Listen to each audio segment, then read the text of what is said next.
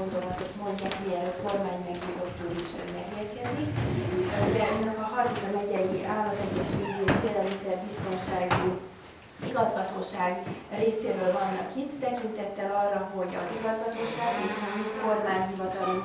állateg, élelmiszerlánc biztonsági szakigazgatási szervek között több mint 20 éves gyümölcsöző együttműködési kapcsolat alakult ki. Én azt gondolom, hogy ez kiemelésre méltó a mi részünkről is, hiszen a szakigazgatási szerveinknek igen kevés százaléka rendelkezik külföldi kapcsolatokkal, és ezeknek a fenntartása, illetőleg az ápolás én azt gondolom, hogy mindenki számára fontos, hiszen az elmúlt 20 év is bizonyítja azt, hogy a tapasztalatcserék, a jogszabályoknak a közös értelmezése, a gyakorlati tudnivalók átadása az mennyiben hozzásegíti mindkét ország